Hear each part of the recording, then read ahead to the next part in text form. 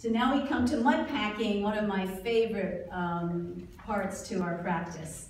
Because um, it's really a lot of fun and people get dramatic results just with a single pack, one single application of a mud pack.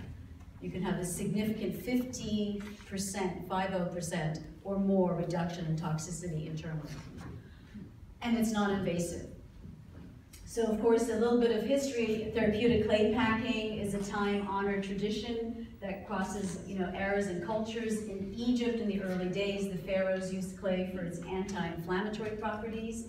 Um, some of you may know this from history, that the ancients, like the Greeks and the Roman athletes during the Olympics, if they had an injury, they would be packed, and within 30 minutes, they were ready to go back into the competition.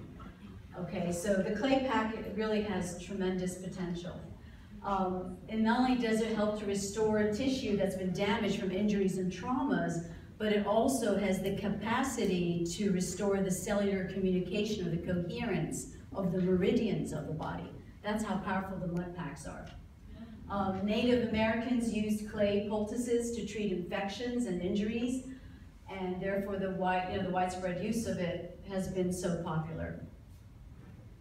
So how does it work, okay? So very simply, the hands and the feet and our feet contain hundreds of highly sensitive acupuncture points that are the, the main bioenergetic uh, release, okay, for the entire body.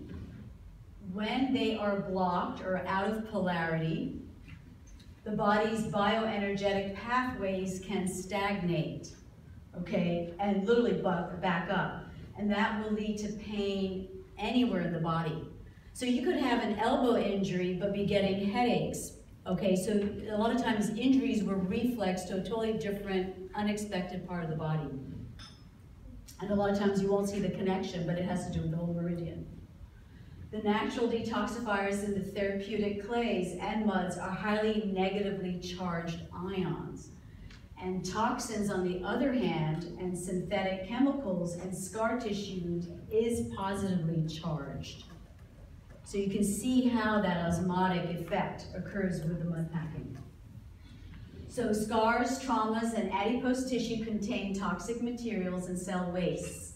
So, you know, one of the reasons why it's so important for us to educate our patients to maintain a much lower body fat is that the potential of you know, attracting toxins to the body when you have a higher amount of body fat.